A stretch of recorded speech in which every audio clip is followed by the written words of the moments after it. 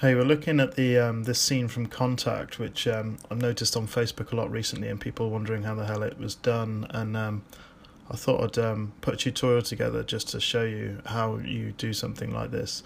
It's an incredible shot, um, and just the way it kind of comes out of the mirror there and uh, makes that impossible shot. So I decided to recreate it here.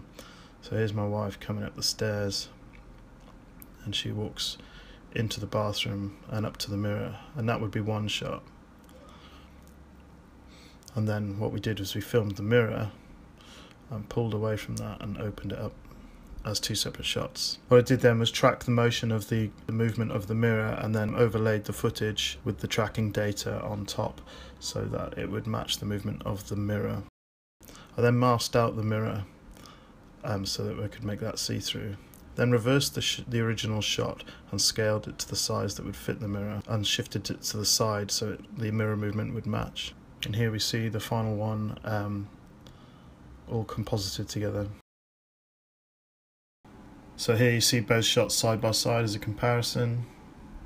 So yeah, that's how it's done. Um, let me know if there's any other uh, shots you'd like me to explain from any other films, but this one had been quite popular on Facebook, so uh, yeah, enjoy.